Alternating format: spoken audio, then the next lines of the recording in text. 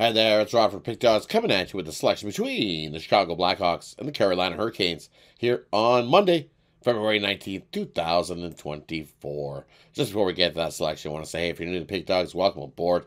Like, subscribe, hit that notification bell. That way you get notified when the newest content drops here at Pick Dawgz. Also, looking for the bets I'm making, head on over to pickdawgz.com, hit that premium picks tab, hit the hottest handicapper button. You'll see who's hot over at Pick Dawgz, daily, weekly, there's even uh, 30 day, and there's also who's kick starting 2024, a big winner, grabbing the cash from the bookies and putting it in our pocket, making us that bread. That's what we're doing here, kicking the bookies' butt.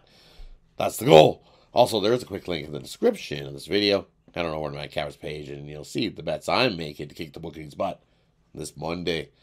All right, let's get this action between the Blackhawks and Carolina here on Monday. And you look, Carolina, well, they're uh, winners of four of their last five games, winners two straight hockey games.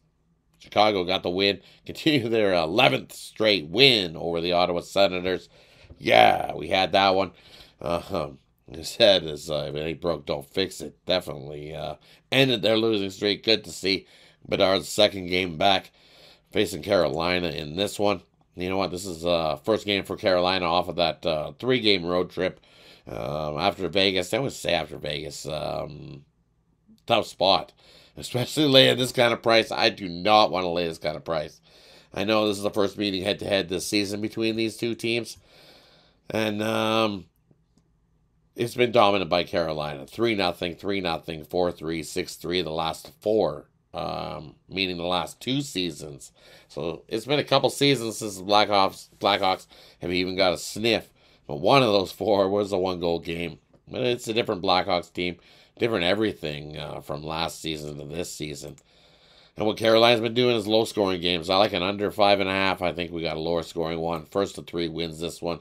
If we get to three, I know, I know, you're supposed to lay it, I don't want to lay this kind of price with Carolina at this at this price and the under. Well, a couple quick goals here and there could send you right up, up, up and over. And I don't want a root below this game, so instead of Ruffalo in it, I think the Blackhawks are, are are scrappy.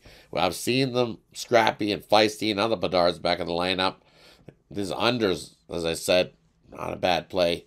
But I'm going to go with the Blackhawks here on the puck line. I think they can uh, keep it close, keep it a one goal game or if they don't outright him here at this big price.